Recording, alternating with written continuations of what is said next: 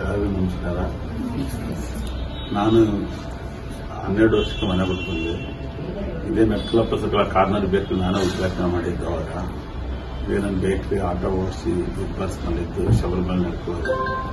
ನಂಗೆ ಇವತ್ತರೆಗೂ ಯಾರೂ ನನಗೆ ಕೈ ಹಿಡಿದಿಲ್ಲ. ನಾನು ಇವತ್ತರೆಗೂ ಏನಾದ್ರು ಒಂದು ಕಾಲ್ ಮೇಲೆ ನಿಂತಿದ್ದೆ ಸ್ಟಾಫ್ಗಳು ಅವ್ರು ಯಾವಾಗಲೂ ನಮ್ಮ ತಂದೆ ತಾಯಿ ನಮ್ಮ ಜನ್ಮ ಕೊಟ್ಟಿರ್ಬೋದು, ಹೆಂಡತಿ ಸುಖ ಕೊಟ್ಟಿರ್ಬೋದು.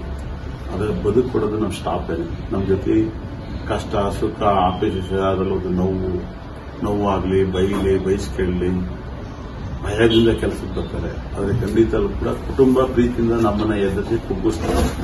ಹಾಗಾಗಿ ನಮ್ಮ ಸ್ಟಾಫ್ ಯಾವಾಗಲೂ ಸಂಸ್ಥೆ ದೇವ್ರ ನಮ್ಗೆ ನಾನು ತಿಳಿದಿರೋ ಮಟ್ಟಿಗೆ ನಾನು ಅಷ್ಟರಾಜಲ್ಲಿ ಒಂದು ಮೂವತ್ತು ಜನ ಕೆಲಸಕ್ಕೆ ಇಟ್ಕೊಂಡು ರೂಢಿ ಇದೆ. ಹಾಗೆ ಯಾವಾಗ ಕೆಲಸದವ್ರು ಆಫೀಸ್ ಮೇಲೆ ಎಷ್ಟು ಗೌರವ ಇರುತ್ತೋ ಆಫೀಸ್ ಅಷ್ಟೇ ನಮಗೆ ಎಲ್ಲರಿಗೂ ಸಂಬಳ ಕೊಡುತ್ತೆ. ನಾನು ತಿಳಿದಿರೋ ಮಟ್ಟಿಗೆ.